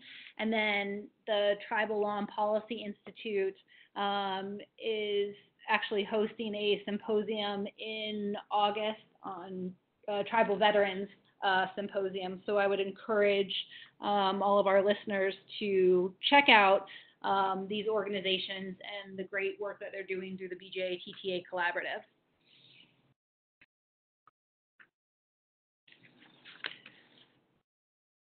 And then also, um, if anybody hasn't, there's the Veterans Justice and Mental Health newsletter that we put out monthly. Um, it's usually between the first and the fifth of the month.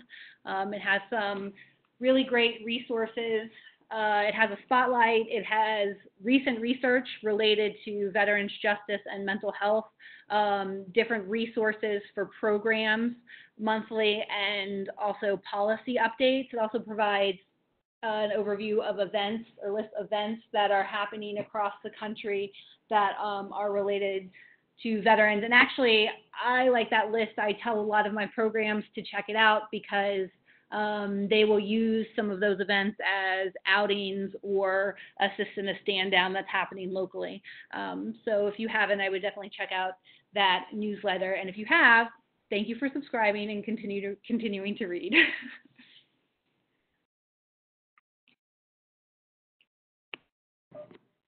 All right, now we're going to move on to the question and answer session.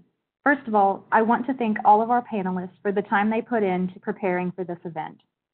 The first thing that I want to address is that many of you have asked if this webinar will be available at a later date.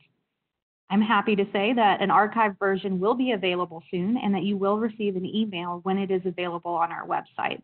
And you should be able to watch it and download it at that time. Now for some of the questions that you submitted for our panelists. First, I'd like to ask a question from Ursula Castellano. And she asked, do we know what percentage of the veteran population is justice involved, i.e. in pretrial, probation, jail, or prison? Which of our panelists would like to address that?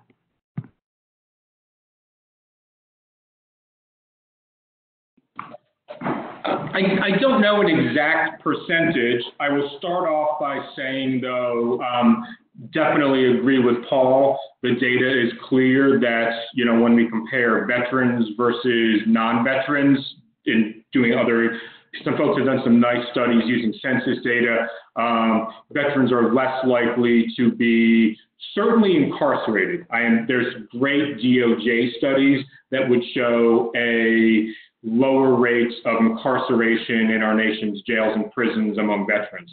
The other questions are really interesting, though, the pre-booking and all the other stages. Um, so DOJ, in their the periodic survey they do of all inmates, has been including veteran status for years, so we can look at not only the current level, but the changes in rates of veteran incarceration over time, which is kind of what was setting up what Paul was talking about with different rates for um, Iraq and Afghanistan veterans. What, what we don't have a counterpart of, at least if it's there, I've missed it, and I'd be curious to hear. When I tried to review FBI data through the uh, UCRs that would look at like the data not coming from prisons and jails, but coming from police, there doesn't seem to be a veteran code on that national data. So we are much blinder on rates of arrest, people in early, you know, pre-booking status. I'm curious if anyone else has thoughts or experiences. Yes, yeah, so I think that the the BJS, so the Bureau of Justice Statistics data, I think that's the DOJ data that you might have been referencing, um, John. I think it typically says 8 to 10 percent um, of the incarcerated population um, has served in the military. Um, I typically put the caveat whenever I write about this that I think that these are underestimates again because these are this is self-report. Um, and there is a slew of reasons why individuals do not want to report their uh, their military status. Um, I believe Erica, you've done some work with yeah. EOC yeah. data in Florida. I was, wanna... was going to jump in and say that that um, resource was the survey of inmates in state and federal correctional facilities. Their last data poll was 2012. Um, the data currently, as far as I know, is uh, not publicly available currently. So we're still waiting on that, uh, but they said between, uh, I think it's like 9.4% now that we are seeing that um, those who report military status are either in state or federal correctional facilities. Jail's a little more fuzzier with that. And then haven't heard uh, much of anything about anyone doing community corrections. Um, that would probably be something that you would have to seek out in your own local jurisdiction or state for that information. So I just want to follow up and say I think that's the importance of it, it reflects the importance of why we need like accurate data and really trying to um, ascertain uh, the military status of of offenders um, because I don't think that we have a very clear clear picture. Um, so yeah. You, you're correct with that, Julie. And uh, keep in mind, these data sets are not created to look at veterans, they're created to look at offenders as a whole. So we're missing a lot of these variations in military service in looking at these different data sources. Thank you for answering that. Our next question comes from Monica Christofferson, and she asks, for the courts who use a nexus determination, who is making that decision, and how are they making that decision? I'll start with this one. Um, so it varies by court, which is what I essentially feel like is the theme of um, this webinar. But um, yeah, so they they have different nexus definitions, um, and I've seen it where the the team decides. I've seen it where it is up to the judge to decide. Um, it's the coordinator, um, and actually prosecution in a lot of programs has the ultimate say. Um, so, and it doesn't specifically say in the jurisdictions that have it in their legislation or in their policy manuals that how they will show there is a nexus.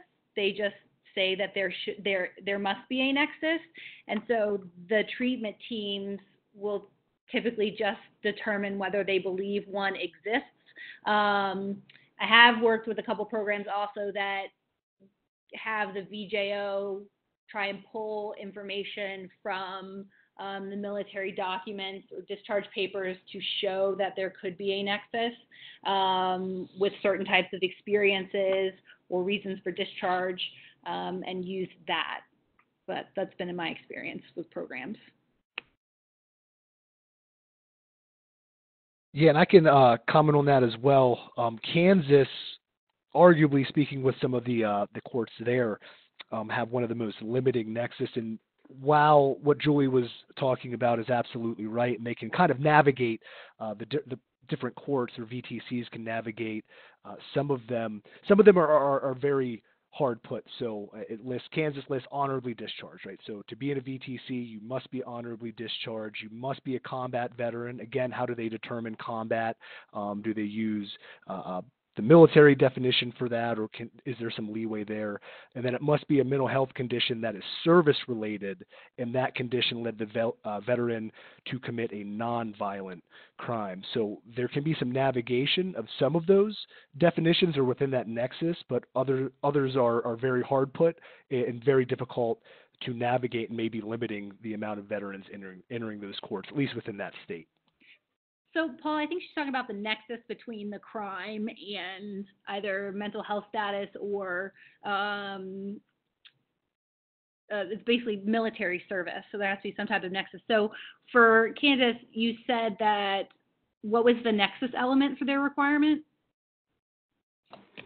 Oh, my apologies. We, we can use that as a footnote and, and throw that down on the bottom then. But uh, no, so the nexus of intertwining definitions of a veteran who would be uh, uh, able to and eligible to enter a veterans treatment court. And they have certain uh, this nexus has to be navigated of course by that, that individual uh, treatment court but the legislation in kansas put it out there that you know again honorably discharged combat veteran service related mental health condition that led to the nonviolent crime. So my apologies for the confusion there. Oh gotcha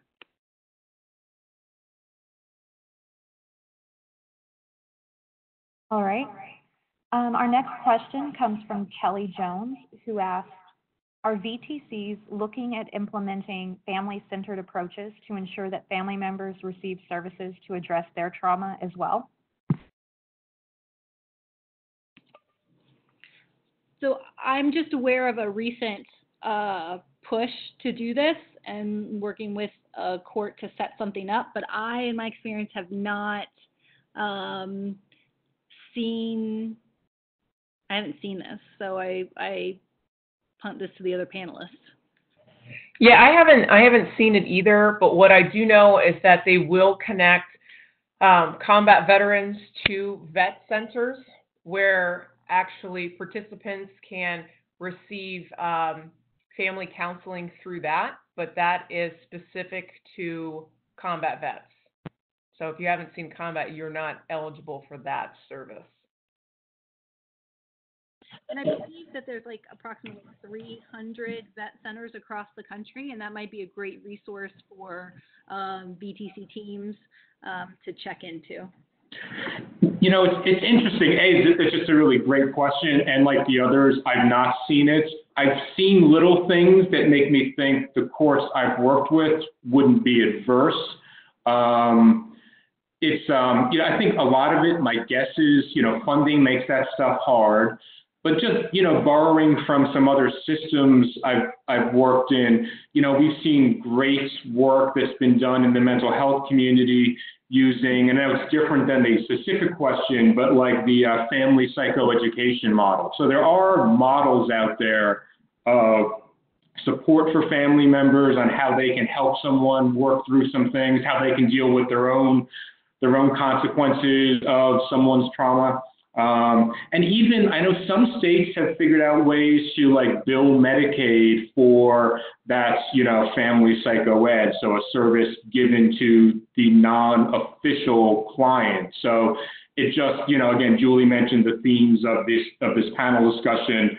You know, one of them is clearly we have so much more work to do. It's a promising model that's rapidly disseminating and so many more interesting avenues to go down. But it's a fascinating question. I wrote down a note on it.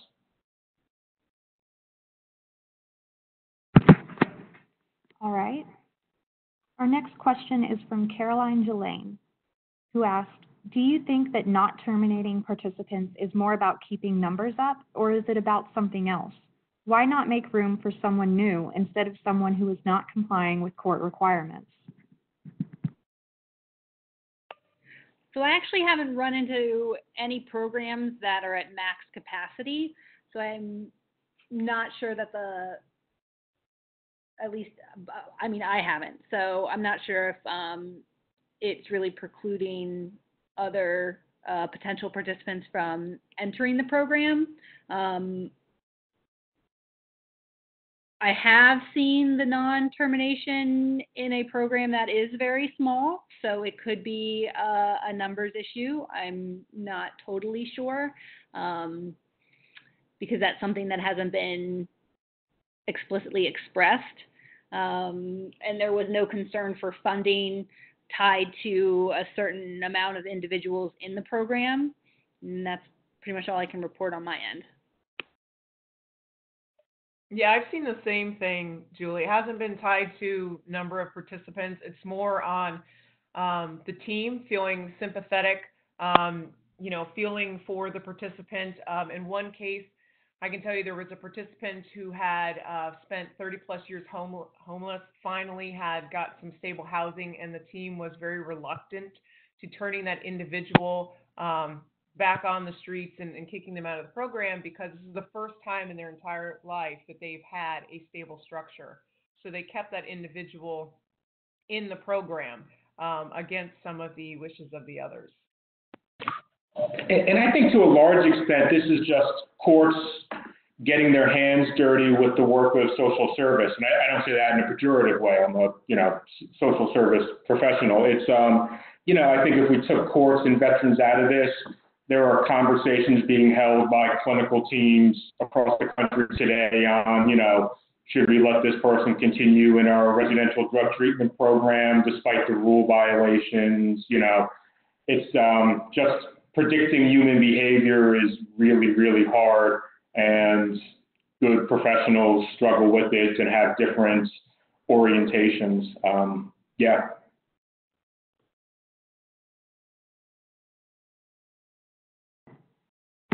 Thank you.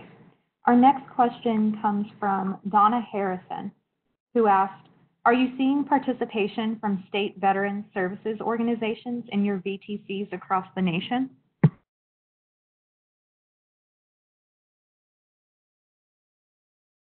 I've seen them provide some mentoring services um, and do outings with veterans.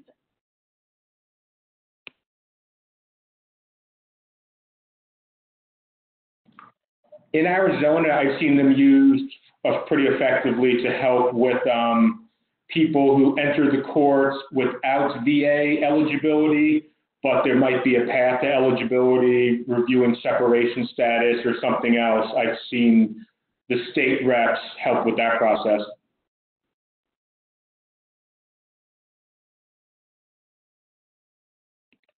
John, thanks for mentioning that. That's with my mind. I've seen that across several um, jurisdictions also.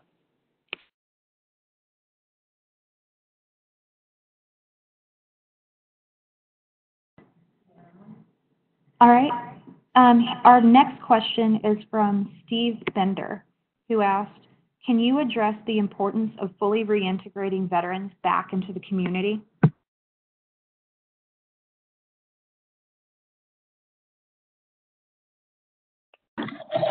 So I'll, I'll jump in and take a stab and curious for others. So, you know, it's, there was a comment that Paul made kind of quickly a little bit ago, but it was really important. And it's that, you know, from research, we know that exposure to combat in and of itself does not increase risk of criminal justice involvement. Um, so people don't end up in veterans courts because they went to war per se. Um, you know, we get a little closer when we look at like PTSD in terms of is there a causal path? I'm, I'm still not sure that that's that that's the case. But what, what we're seeing is kind of what Paul was alluding to is that um, the, the similar predictors of criminal justice involvement among civilians is similar with veterans. And you know, one of those is social connections. And, and that also then it starts to bump up against the military experience, reentry.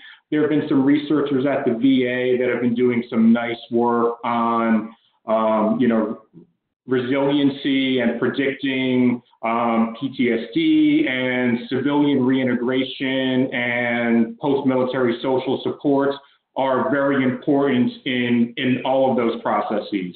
So um, just really, you know, your, your point is getting at something essential. You know, when whether we're thinking about this from a criminal justice perspective or from a social service perspective, you know, good treatment for folks, showing some good deference to their preference, of course, but generally good treatment is helping people find a useful social role, right? You know, psychiatric medications, counseling can be very helpful and very important for people. But you know, a life where you're connected, having the ability to call someone who will help you when you're in a when you're in a tough spot. You know, the the mentor program I've started working with here locally. One of the outcomes we want to measure is a couple of them are social connectedness for that reason, and also a measure of self-efficacy, which is kind of getting at, you know, after working with the mentor component, are people feeling more able to, there's an independent network of people they can call for assistance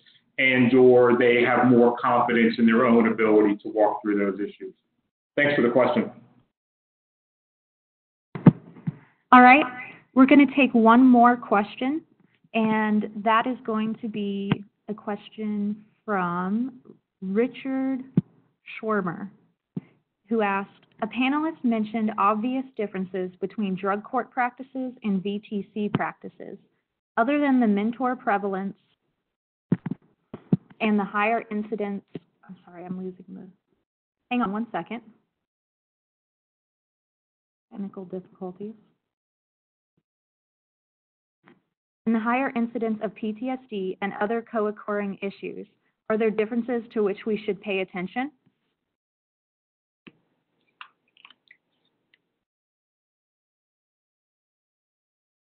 I think our panel today covered a lot of um, issues that teams and researchers and uh, should really be attuned to. Um,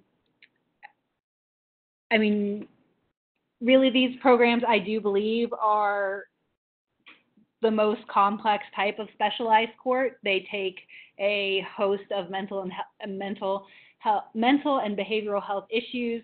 Um, they are not necessarily um, focusing on a specific type of offense. Um, they really are more of the general status of a military service.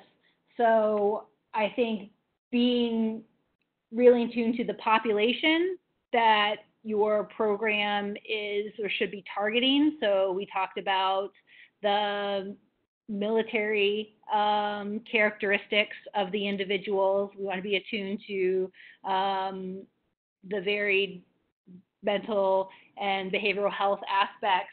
Um, a lot of these programs deal with uh, housing challenges, um, other social support. Um, you know, there's the peer-to-peer aspect of these. So I think in a lot of ways, um, there's and and they're very varied depending on the jurisdiction. So um, I just think that focusing on the participant or potential participant population um, is important and it widely varies. And I think it does potentially do more so than other types of specialized courts. I'm Not sure if anybody else really wants to tackle that, but it would be great.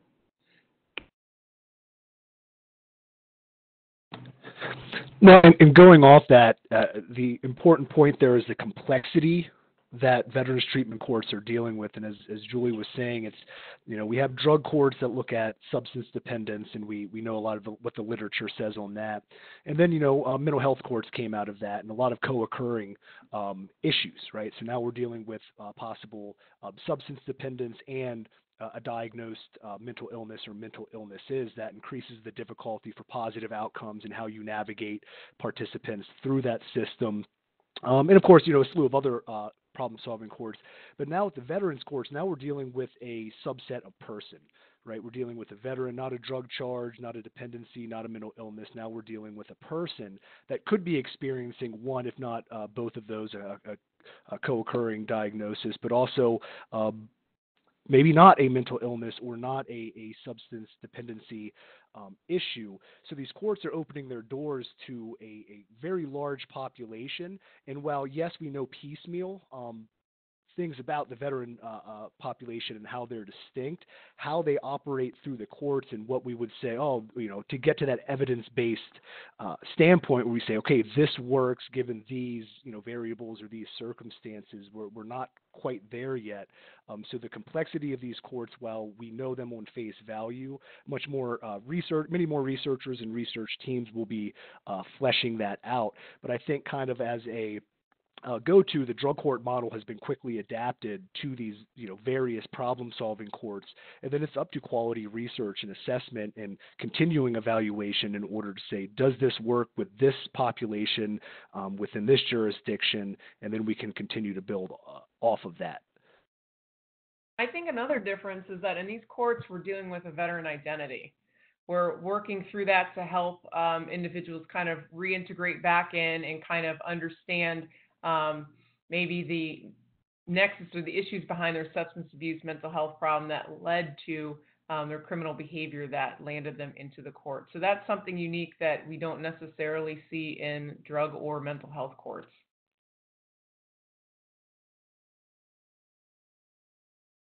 And that concludes our question and answer session. We want to thank you again for attending this event.